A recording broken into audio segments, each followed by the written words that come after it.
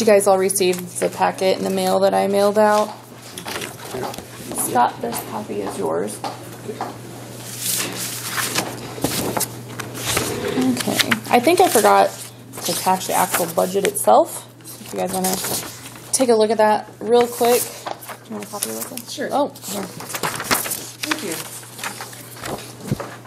Um, last year, we received twenty-three thousand fifty dollars from the county commissioners. We're asking for twenty-three this year as well. Um, on that sheet, there is our operations fund. We have two funds that we run off the operations, which is the daily operating of the office, making sure that you know payroll's done, insurance is paid. We do a lot of education things through the operations fund, and then we have the enterprise account, which is all of our small business, where our tree sale comes in and out of, um, any sailing or any retail sales with the drip supplies and weed barrier. That's all in enterprise fund, and the county or the county allocation goes into the operations fund. So it doesn't go into fund the enterprise side. It's strictly the operating of the conservation districts. In that, the county gives us an X amount of dollars, and then the state of Kansas, through the Department of Ag, matches it up to twenty-five thousand. So if we got twenty-three last year, then they prorate based on how much they get from the governor, and then break it down by county. So last year we got twenty-three from um, the county, and I think it comes out to about nineteen thousand from the state.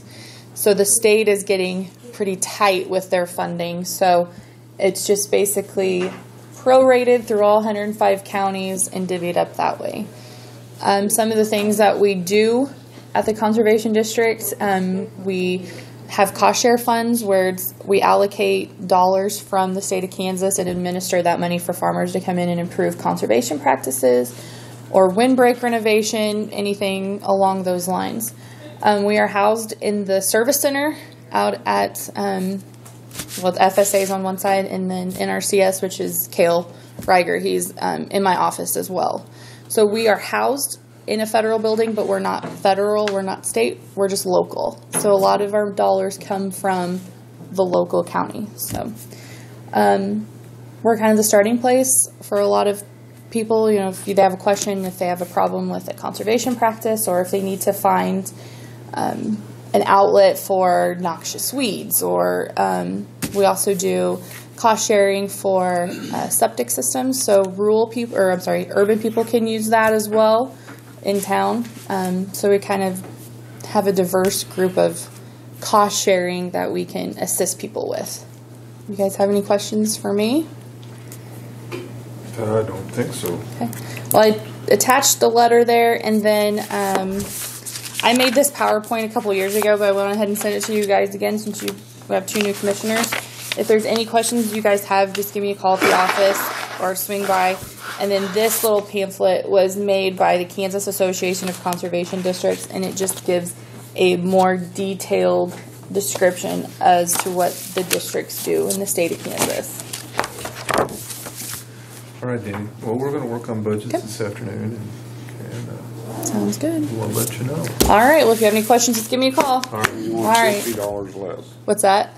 You want fifty dollars less. I think we have to stick to what we asked for last year. So that's what. Oh, shoot. Now- Yeah. Now you want the extra fifty Yes, dollars. now the extra 50. That's right. I hope that 50 doesn't make or break you. Yeah, we do too. You're not the only one with that. are? I know. and then that um, sheet that I gave you, when they figure out um, how much, just fill this out and then wherever, yeah, where it says like county commissioners or how much that is, and then just call me and I'll swing by and pick it up, okay? Thank you guys. Thanks, Dan.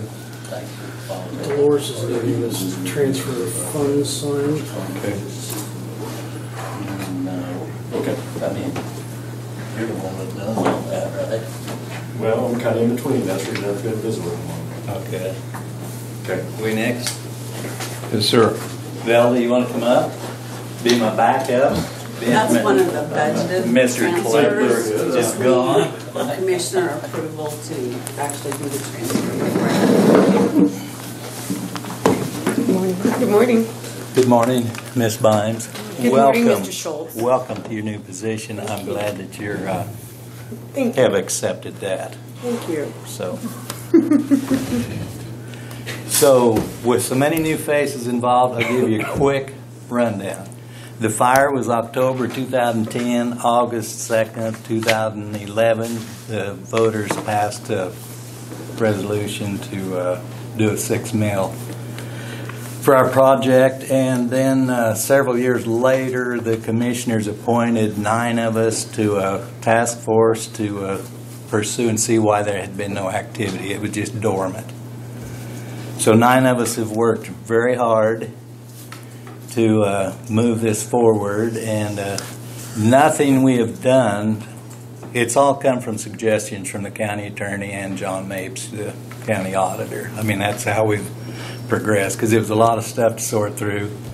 Multiple meetings, Mr. Garner can attest to that, he was at all of them. So uh, that's kind of where we are now, and eventually that was rolled into a PBC, the same uh, members, because we need a legal entity to borrow the funds and uh, disperse them and all that, and so that's kind of where we're at now, and so we still rely heavily on the uh, county attorney and the, and uh, we haven't talked to Mr. Mapes for a while, but I found out today's budget day, so here we go again. So John knows, he knows everything that's going on, Yeah. right? So if there's any questions that have got us to this point, you know, why, we try to answer those. I, uh, we touched briefly on, uh, you know, we weren't satisfied with the bid packets, and uh, we will have a meeting uh, July 13th, and uh, so we will be able to have a complete summary on the bids for you, for your July 14th meeting. Have you got a contractor yet? Hutton Construction from Garden City.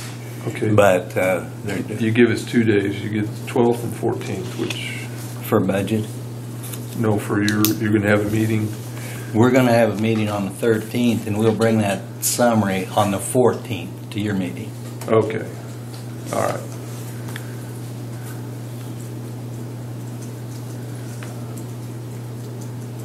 Do you, do you need any of us to come to the meeting on the 13th, or? You're, you're welcome. You're welcome to come. It'll be at 4 o'clock, and I don't, I don't know the details. It might be a conference call, depending on Hutton's It's gonna be in the schedule. basement again. Yes. So you're certainly welcome. It's at 4 o'clock. Okay.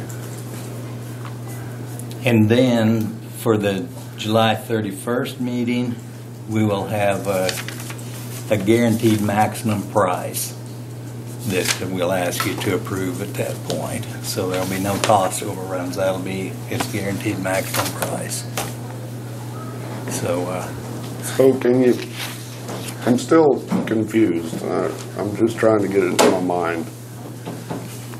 You get six mills a year, yes. and what, what do you use it for?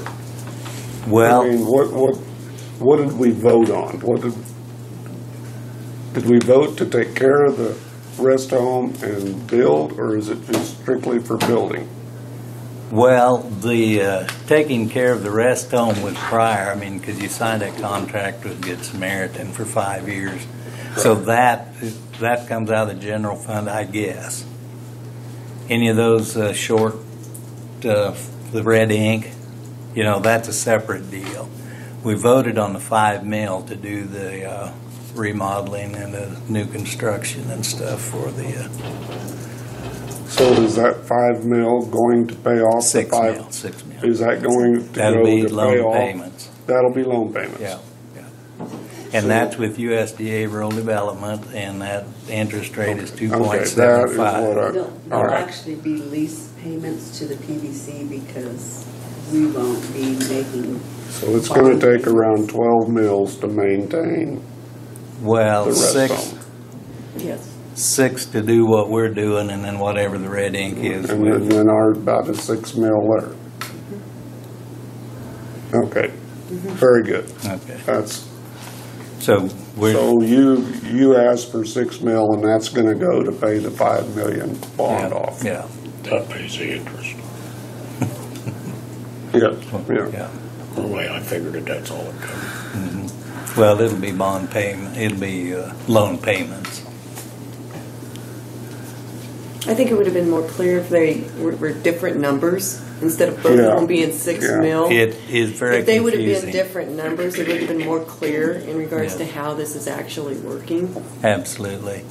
And 'Cause that it's will been- happen this next year. It's been very confusing because it's taken a lot of meetings to get, you know, county attorney and uh, Mapes Miller. It's been a nightmare to get sorted out, but we finally we're we're just moving forward on you know what they finally sorted through. And now I'd like to have five minutes executive session, please, To discuss, non-elected personnel. Is that the right answer? yes. I move we move into executive session for five minutes. Discuss non-elected personnel. Second. All those in favor? And I would like to speak to all five of you concerning Good Sam on some things All right. uh, when they're done, so. Our concern is. Oh, Uh, Is this thing, Yeah, wait for Scott to come out. did we even turn it on? He did Okay. instead of doing it.